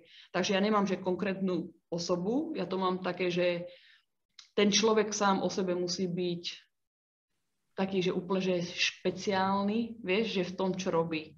To je pre mňa obrovský vzor. A hlavne, keď to pomáha druhým, samozrejme, vieš. Jasné. Uh-huh. A druhá časť tej otázky sa pýta na teda tvoje pôsobenie zahraničí a teda, že aký si mala taký prvý pocit, keď si prišla do nejakej cudzej zeme? Sa mi to nepačilo.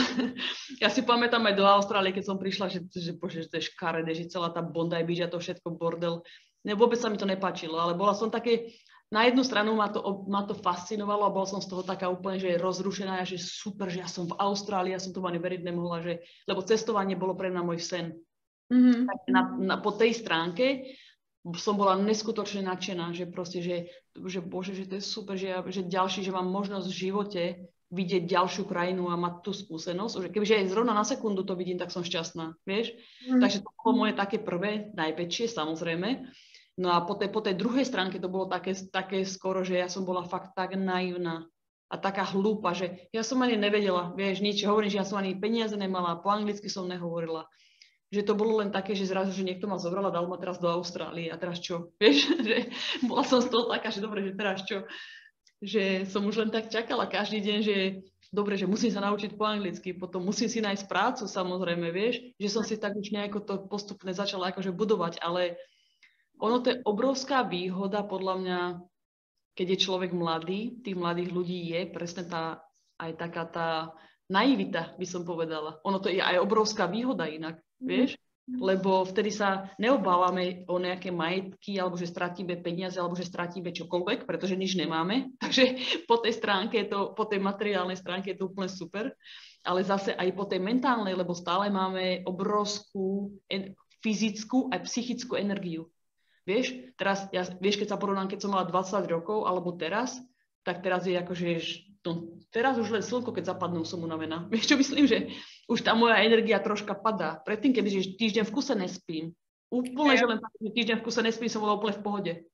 Vieš, mohla som stále niečo robiť, ešte aj na diskotéku som mohla ísť, ešte aj tetovať som mohla na druhý deň a ešte takto som to mohla opakovať stále dokola. Že neskutočne veľa fyzickej energie som mala, aj psychickej. Že ten drive, proste ako som bola, tú silnú mysl, akú som mala, že to bolo tiež obrovská, obrovská, akože, obrovská energia. Vieš? Ešte stále to mám samozrejme, ale samozrejme, že už vidím, som človek, takže po tej fyzickej stránke mi už troška tá energia určite ubúda. Vieš, že v noci sa mi fakt nechce, ako som predtým hovorila, ísť tetovať. Vieš, keď o polnoci mi niekto napíše, že ja už chcem spať, vieš, že chcem sa dobre vyspať.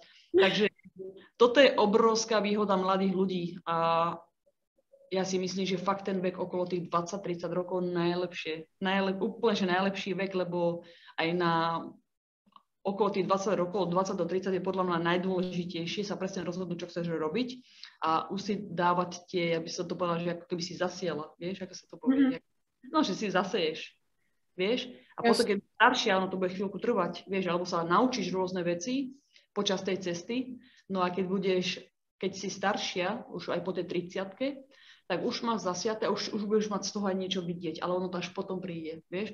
Že ja ti poviem úprimne, že ja robím toto vyše 20 rokov a ja, ja až teraz začínam pociťovať ten úspech, ktorý mm. som mala mať, keď som začínala. Ale ono sa to nedá preskočiť, vieš? Že sú veci, to nie je len to, že dobre, máš rýchly úspech, ale to ma ne, nevyformovalo byť človekom, ktorým som teraz že ja som si musela proste, že prežiť tie roky aj tým, čím som prešla a mať rôzne tieto skúsenosti a až teraz začínam pociťovať ten úspech, vieš? Aj keď som mala predtým, že také mini úspechy, ale to nebol ten úspech, ktorý som chcela mať. Môj úspech je presne to, že teraz po kariérnej stránke, aj po, ako som spomínala, mať partnerku, mať kamarátov v živote, mať rodinu, že všetko mám úplne, že v krásny, krásny taký celok. Takže po každej stránke, toto je pre mňa úspech.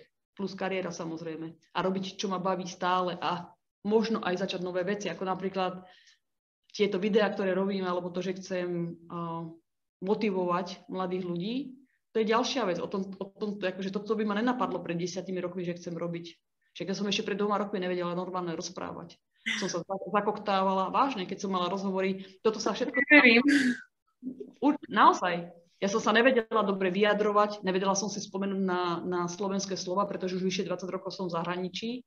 Takže hovorím, že ja na to stále tak nadchýna, že čo nové mi príde stále. Vieš, že ja neviem, akože ne, nechcem byť len obmedzená, že som taterka a toto teraz robím a týmto hasne. Práve, že vôbec.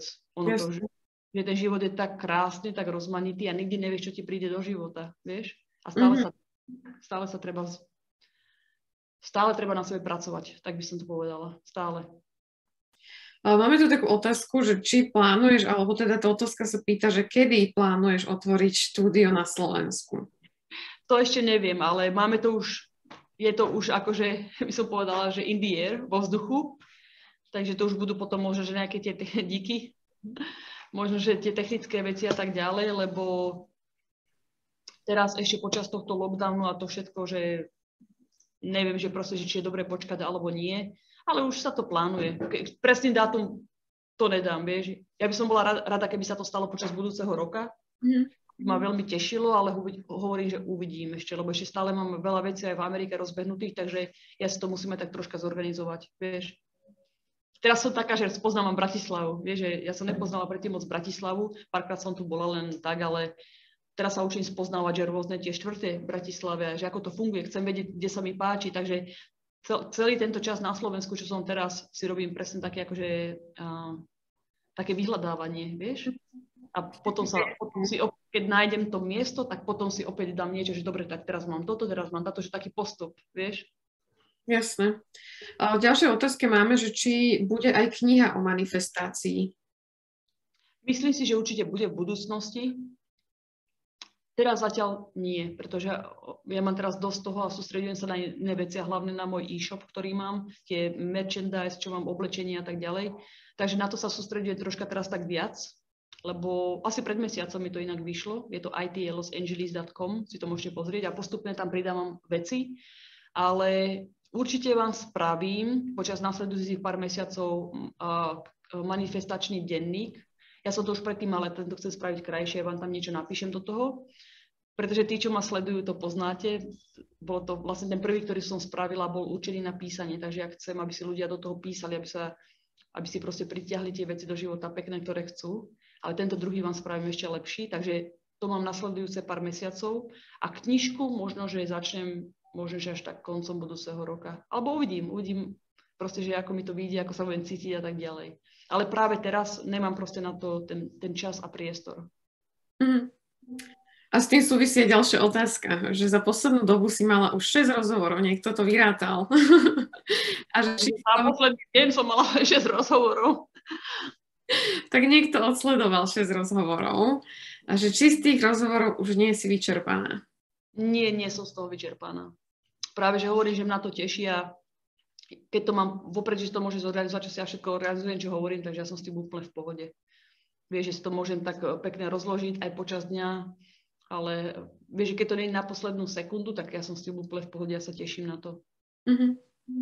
Jasné. Dobre, tak poďme na ďalšiu otázku. Ako sa zbaviť strachu z toho, keď je človek blízko svojho cieľa, alebo keď je už na ceste k cieľu? Keď sa mu začína dariť, ale minulosť ho drží vzadu. Ako sa zbaviť strachu z toho, keď je človek blízko svojho cieľa, mm-hmm. alebo na ceste k cieľu? To nechápem akože ak, aký strach, lebo ja neviem už o čo sa jedná teraz keď sa mu začína dariť, ale minulosť ho drží. Iba toto mi vysvetli tie prvé dve vety, nechápem. Ako sa zbaviť strachu z toho, keď je človek blízko svojho cieľa? Akože ja môžem tiež len svoju interpretáciu povedať. Ja nechápem otázky. Hej. Nechápem otázky, čo to je? Ja by, som, ja by som tomu rozumela asi tak, že sa niekto možno zlakne práve pred tým cieľom, hej, že už je, už je ako keby na ceste a aj sa mu darí, ale potom sa možno zlakne tie veci ako keby dotiahnuť do konca tak ja neviem, mne to prišlo, neviem prečo, prvá vec, čo ma napadlo, bolo to, že ten cieľ je asi moc malý. Pretože mm-hmm. sa možno, že teraz bojíš, že ty ten cieľ dosiahneš, pretože si už tak blízko že ho dosiahneš a potom čo? Možno? Neviem, to ma napadlo, vieš. Kebyže máš obrovský cieľ, alebo že stále si dávaš také obrovské ciele, tak ja neviem, či, či by si mal čas nad takýmito vecami rozmýšľať. Mm-hmm. Ja to nemám čas, lebo stále sa snažím, že byť k tomu bližšie, vieš. Mm-hmm, čiže dať si ako keby väčší cieľ a vlastne ten, ktorý idem dosiahnuť, je iba čas toho um, celého, hej, nejakého veľkého cieľa. No, ale hovorím, že ne, nechápem otázka, ale moja interpretácia bola taká, tá, proste, že čo som ja z toho získala, bolo to, že asi ten cieľ moc malý. Mm-hmm. Dobre, mne sa táto odpoveď páči, keďže nevieme úplne interpretovať tú otázku, tak verím, že to nejako autorovi pomôže a ho to inšpiruje možno ďalej. A, poďme teda na ďalšiu, že čo, ho na, čo chceš najviac dosiahnuť, aký je tvoj sen asi teda teraz? Môj sen je to, čo robím. Proste, že ja chcem dosiahnuť to, že chcem motivovať čo najviac ľudí. Rada by som v budúcnosti, ale to aj, aj, to aj spravím rada by som mala takéto interakcie naživo. Vieš, že proste, že si buknúť nejaké miesto a ísť niekde a proste, že motivovať ľudí a takéto diskusie rôzne, aby sme mali. Tak to, to je môj taký sen. Ďalej pracovný, robiť s, s vysokými modnými značkami, takže kebyže mám nejaké super kolaborácie, vieš, moda ma proste veľmi baví, Louis Vuitton, Gucci, Dior alebo niečo také, tak to by, ma ne, to by bol neskutočný môj sen, to by ma veľmi bavilo. Aj po tej kreatívnej stránke, aj že celkovo, že to je môj taký sen a chcem mať uh, TV show svoju. Takže kebyže na Slovensku to by bolo super. A TV show by bolo taký lifestyle samozrejme, takže to by ma bavilo. Super, tak to sa teším, dúfam, že to vyjde. Na túto sme možno už čas, časti odpovedali, ale dajme ju, že či ťa ešte niečo napadne, že kde čerpáš inšpiráciu, čo je zdrojom tvojej motivácie a či nejakým spôsobom predchádzaš pracovnému vyhoreniu. Takže tá inšpirácia, to je presne to, čo som hovorila, že keď proste robím niečo, čo ma baví a mám obrovský cieľ, tak ja nemám ani čas sa proste nejako že zastaviť medzi tým, alebo že by som vyhorela, alebo niečo, práve že vôbec. Takže to by som povedala, že musíš mať proste obrovský cieľ, obrovský sen, lebo to je, to, to je nezastaviteľné, že ne, ja nemám čas proste keď si len tak akože vydýchnuť alebo zastaviť sa, alebo že by som nejako že sa vzdala, vieš? Takže to je, to je pre mňa na to inšpiruje, že proste stále, stále mám za niečím, za čím si idem. Preto je to veľmi dôležité, aby si mal, alebo si učil hociaké ciele. Vieš, že keď zrovna nemáš nejaký obrovský sen, tak si musíš dať cieľ a stále si za tým ísť. A to, to vyhoretie, akože ja neviem, ja som není sviečka, akože, vieš, ja nemám také zmýšľanie, že vyhorím, akože to čo je, vieš. Ja neviem, akože keď, keď robíš, čo ťa baví, tak, tak to nemáš proste, že aby si vyhorel lebo vždy si vieš zorganizovať ten čas aj všetko, aby si to možno aj troška oživil niečím iným, alebo choď opäť, cestuj, keď ťa to baví, že treba si, to je celé len o organizácii, vieš, toho času a proste, že ako si spravíš veci. Mm-hmm. Ale ja si toto myslím, že ty sa naozaj sústredíš na tie veci, ktoré ťa bavia, že podľa mňa toto je, to, čo viackrát ako keby odznelo o, od teba, že vlastne, že to ale je na tomto podstatné, hej, že ale, aby... Ale, že, nie, že len to tetovanie, ale ja chcem robiť len, čo ma baví. Vieš. Čo sa týka práce, to je troška iné, to som aj povedala, že áno, sú niektoré veci, ale, ale stále sa to týka mojej práce, takže je to stále, že pracujem na tom, že robím veci, ktoré akože odkladám, lebo sa mi, vieš, že vyslovene, že nechcem, ale musím, to je ten mhm. rozdiel. Ale toto je troška niečo iné, vieš. Jasné. Dobre, ďalšia otázka sa pýta, že či v rozhodujúcich situáciách si konala podľa pocitu, že to tak máš urobiť, alebo si sa riadila skôr racionálne a zohľadňovala prípadné nebezpečenstva? Podľa pocitu. Mm-hmm. A možno, že, dobre, možno, že uh, to nebolo dobré rozhodnutie, akože mala som situácie v živote, že kedy som to spravila, ale zase na druhú stranu, že keď cítim niečo, že není, uh, ako by som to povedala, keď niečo mi na tej energie vadí, alebo že tam nejaký blok, ja to neviem proste vysvetliť.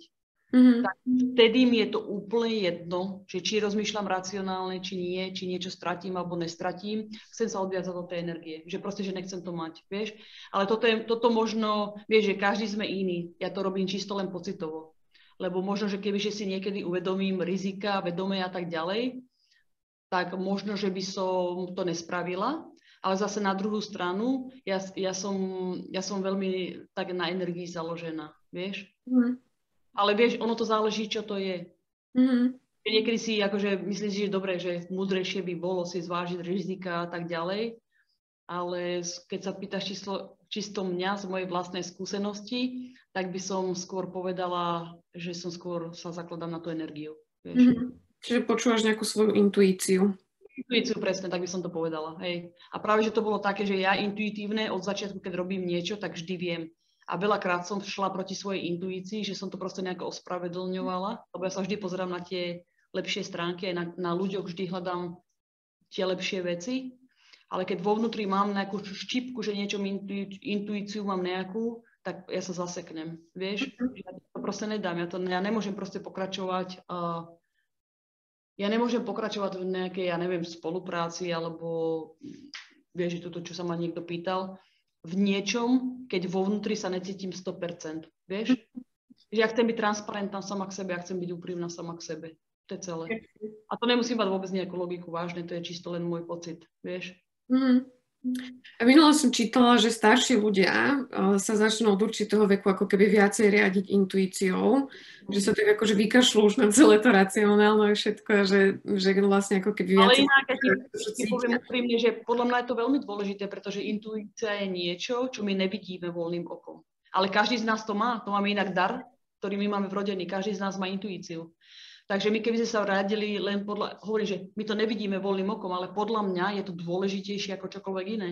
Pretože keď ľudia napríklad, že nevidia alebo nepočujú alebo niečo, takže majú obrovský dar intuície. Vieš čo myslím, že každý z nás to má, len my to nepočúvame. To je to. A ja práve, že to chcem začať počúvať a to som sa rozhodla, toto rozhodnutie som spravila inak pred pár mesiacmi, Mala som aj taký dobrý rozhovor na mojom YouTube, to potom dám, uh, s jedným, čo vie čítať z tvári a sme sa aj bavili o intuícii a tak ďalej. Lebo to je vlastne sval, ktorý si my vieme spraviť, lebo pretože to máme v sebe, len to nepočúvame. Takže hoci akými maličkostami začneme, že keď máme nejakú intuíciu ohľadom niečoho, riadme sa podľa toho a tak si vlastne vybudujeme ten sval. A potom to bude silnejšie a silnejšie a silnejšie. Takže ja som si spravila, hlavne teraz v posledných mesiacoch sa sa snažím 100% proste toho riadiť, lebo som si všimla, že keď sa neriadím, hoci aký malý prešimik spravím, nikdy mi to neslúži. Vždy je to proti mne. Mm-hmm. Jasné. Máme tu takú otázku, mm, uvidíme, že či toto nejako sleduješ a vnímaš, ale čo hovoríš na slovenské školstvo a celkovo na vzdelávanie?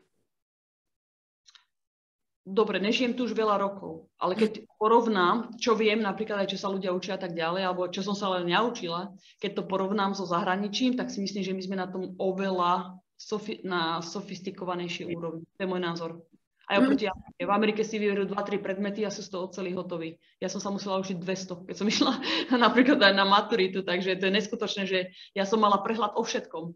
A potom som maturovala asi zo 7, si pamätám, zo 7 alebo 8 predmetov som sa musela učiť čisto len na maturitu. A to bolo také, že dve boli spojené. Takže mala som také, že 4 alebo 4 myslím, že hlavné, alebo 5, ale vlastne, ale vlastne som sa musela učiť 8, lebo niektoré boli dvojité. Takže to sa nedá porovnať. To sa nedá porovnať, toto by v Amerike dávali za 20 rokov štúdie, asi čo som ja dala za 4 roky, napríklad. Takže ja si myslím, že Slovensko je na tom veľmi dobre. Ale hovorím to, hovorím z tej mojej skúsenosti predtým. Mm-hmm. Čiže zvládame ako keby väčší objem učiva, hej? Určite. Väčší prehľad máme, keď to porovnám, Američania nevedia, kde je Slovensko. My musíme vedieť, kde, kde je ich potok nejaký. Vieš, to si ja pamätám teda zo školy, že som musela vedieť všetko proste. Mm-hmm. Hej, to je pravda. No. Zakresliť na slepú mapu ešte najlepšie. Bol len tieto čísla, neviem čo to bolo, tie severné, južné, neviem, tie, neviem ako sa to volá, som zabudla, ako sa to volá také čísla, vieš, že sa to dávali len nejaké tie čísla a hneď podľa toho si ty musela učiť tie súradnice, museli sme učiť, že kde je čo. Američani nevie, čo to je. To podľa okay. také, no. Rozumiem. Dobre, poďme na ďalšiu. Či budeš na nejakom portáli zdieľať rozhovor s Rondou Bayern? Brn. O, i, áno, takže tento rozhovor je už na mojom YouTube, dokonca sú tam dve videá. Jeden je čisto len ten rozhovor, je to po anglicky. A iba vám to zhrniem, ja som sa vtedy, ona vydala novú knižku. Takže ja som mala rozhovor s ňou a tam som sa pýtala, že keby to mohla tak nejak dať do jedného celku alebo v takej skratke, čo si myslí, že je najdôlež- najdôležitejšie na to, aby sme si my priťahli veci do života, ktoré chceme. A ona povedala úplne jedným slovom, že vďačnosť. Takže dokonca poznamenala, ak chcete svoj život zmeniť do 24 hodín, tak buďte vďační. Mm-hmm. Vďačnosť za všetko. Ráno vstáneš, ďakujem za nový deň, ďakujem za krásne ráno, ďakujem za slnko, ďakujem za vzduch, ďakujem za ruky, ďakujem za všetko. Proste, že byť vďačný. A čím viacej ste vďační, tak tým viac lepšieho si pritiahnete do života, lebo to je najvyššia vibrácia.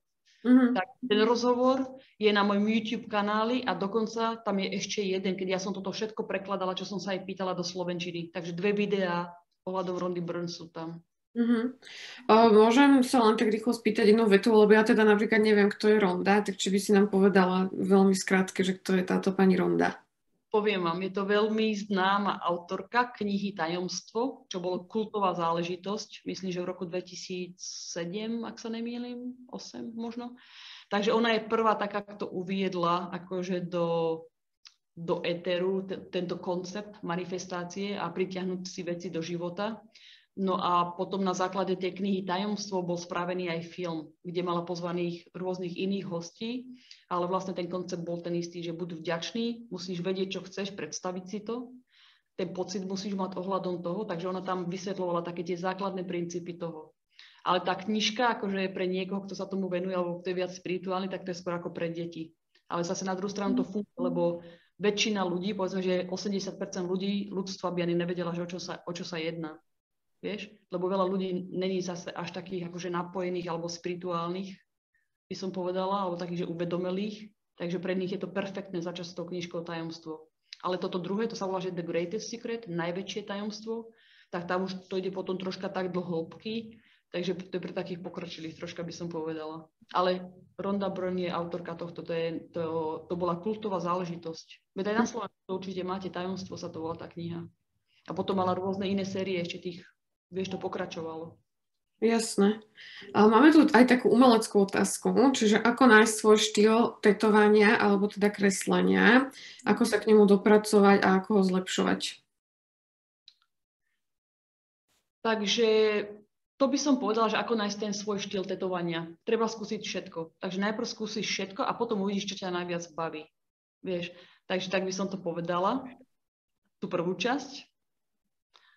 A ako sa k nemu dopracovať a ako ho zlepšovať? No musíš stále, stále mať praktis. Stále musíš praktizovať, to je celé. To je jediné, tak sa, tak sa zlepšíš proste. Alebo ako som ja povedala, že treba cestovať, treba sa učiť rôzne iné štýly, vzdelávať sa, stále na sebe pracovať. Takže tak sa jedine zlepšíš, vieš. To není, že budeš rozmýšľať nad tým, bude to tým, že to budeš konať. Tak by som mhm. povedala. Čiže to praxou. Praxou, absolútne. Mhm. Hej. Dobre, čo bol zlovový moment, ktorým si sa dostala k tetovaniu celebrít? Takže v Amerike to poviem, teraz napríklad, keď tetujem toho Chrisa Browna a tak ďalej, tak, lebo teto, celebrity som už tetovala predtým, ale také tie najväčšie, teraz, že čo poznáte, tak to bolo v tom, že som si začala viac veriť. Tak by som to povedala. Takže všetko to začína tak vo vnútri, čím viac si veríš, tak tým viac vecí a lepších vecí si pritiahneš opäť, vieš že ešte stále toto je niečo, na, na čom aj ja sama pracujem. Vieš, že každý deň snažím si viac sama v seba veriť. Mm-hmm. A toto moja odpoveď, absolútne to tak bolo, vieš, že keď som si začala veriť, lebo potom začneš priťahovať, vieš. Hej. Dobre, a máme tu teda poslednú veľmi peknú otázku, že čomu venuješ svoj voľný čas? Môj voľný čas venujem by som tak povedala, že mám rada proste svojich kamarátov, rada sa chodím najesť, takže keď mám nejaký voľný čas, tak rada ho strávim s kamarátmi. Vieš, že znova mať proste nejaké pekné interakcie, že mi to skrášľuje mi to život. Ale nemám niečo také, že vlastne moja práca je moja hobby, takže ne, vieš, že na to baví proste, ja neviem, ja aj keď skončím tetovať, tak ja znova idem niečo akože robiť, ale je to akože práca, ale ma to baví, že, že vlastne ja sa tak pri tom aj zrelaxujem. Mm-hmm. Uh, hej, aj som si myslela, že to tak nejako bude z toho, čo si hovorila, uh, že vlastne ťa to veľmi baví. Uh, a Eh, ja by som asi teda prešla k záveru, eh, lebo sme mali čas do 28, ale kľudne môžeš odpovedať na túto poslednú otázku, ale ja by som medzi tým ešte rada uviedla, že my by sme si radi eh, vypýtali teda od našich divákov a ľudí, ktorí nás sledovali a počúvali, aj taký maličký feedback, čiže keď si prekliknete v slajde na takú časť, že hlasovanie, tak tam môžete zakliknúť, ohodnotiť našu diskusiu. Ak by ste nám chceli nechať nejaký slovný komentár, tak ľudia môžete do toho, kam ste písali otázky alebo niečo, keď tam chcete zanechať Ivane nejaký odkaz, tak pokojne môžete. A teda Ivana, na záver by som sa spýtala, že či máš teda nejaké tipy na knihy alebo nejaké materiály okrem rondy, ktorú sme si už dnes teda spomenuli. Takže putovanie duši od Michaela Newtona po tej spirituálnej stránke opäť, lebo všetko to začína vo vnútri, treba si uvedomiť, kto ste. Takže putovanie duši Michael Newton a to je taká úplne základná kniha. A potom by som dala, e, vlastne, že čo sa mi ešte páčia, tak záleží z metafyziky, by som dala Vadim Zealand. A, a, neviem, ako sa to povie po slovensky. Transurfing Reality sa to volá tá knižka. Tak, tak to, to sa mi páčilo po to, z tej metafyziky. Potom po takých tých biznis knižkách a tak ďalej, tak mám rôzne také, že uh, som študovala Brian Tracy, tie sa mi páčia. Ale nemám vyslovené také, alebo ja by som to povedala tak, že kľudne si pozrite aj tú knihu, to máte všade tú dostupnú, uh, štyri zákony sa to možno volá. Hej, štyri zákony, myslím, Áno, že tak. štyri zákony, perfektná knižka podľa mňa, vieš. Že to je také, že, lebo všetko je to vo vás vieš, všetko. Takže tam sú také zákony, ako si, ja neviem, ten prvý je, že ako si nebrať veci osobné, veľmi dôležité, vieš, čo ty s tým máš niekoho, keď niekoho, vieš, teraz niekto je nám na naštvaný a sa nám na vyhúka, to je dobre, to, je, to, to, je v pohode, ty si nahnevaná, ale prečo by som teraz ja mala byť nahnevaná alebo byť urazená za to, vieš. Také základné princípy sú tam, ale podľa mňa je to, je to podľa mňa veľmi dobrá knižka, že na taký tiež mindset by som povedala, vieš, alebo vnútri, že ako sa proste, ako proste žiť život, Takže moje odporúčanie vždy, čo ma napadlo, prvé sú vždy takéto veci, vieš, mm. lebo to je všetko, co začína s tou prácou vo vnútri. Ivana, veľmi krásne ďakujeme naozaj, že si prijala toto pozvanie. Ja ďakujem, ďakujem za pozoranie inak aj za vaše otázky. Hej, otázky boli naozaj super, bolo ich strašne veľa, veľmi sa teším, že sme to stihli a dokonca ešte aj v čase, ktorý sme si na to dali. A naozaj ti ďakujem, že si na každú jednu otázku odpovedala naozaj tak veľmi úprimne a zo srdca, že si to vôbec akože neflákala, že si do toho naozaj išla naplno a že si s nami zdieľala naozaj tvoj život a to, čo si doteraz z neho odnášaš. Uh, a Chcela by som teda aj ostatným ešte pripomenúť, že ak by mali záujem o nejaké naše ďalšie aktivity v rámci Nexterie, tak do Nexteria Leadership Academy otvárame prihlasovanie.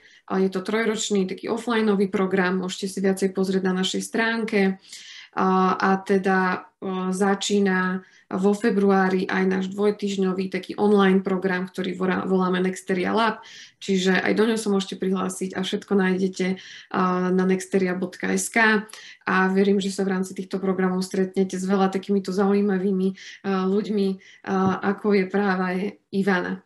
Máš ešte nejaké záverečné slovo pre nás? Sledujte ma na mojom Instagrame Ivana Zetuart alebo na YouTube kde sa vlastne môžete dozvedieť viac o tom, o čom sme sa tu bavili, o mojej ceste alebo rôzne tie témy. Takže je to v playliste pod motivácia a inšpirácia. Môj YouTube, vlastne všade ma nájdete pod Ivana Tattoo Art. A keby ste mali záujem o viac, alebo chcete sa dozvedieť viac o mne, alebo máte rôzne iné, ja neviem, zaujímavé otázky, tak hoci kedy tu môžem byť späť. Ďakujeme veľmi krásne aj za túto ponuku a ďakujem všetkým našim divákom a poslucháčom a prajeme vám ešte krásny večer. Majte sa pekne. Ďakujem. Ahojte, všetkých vás zdravím. Ahojte.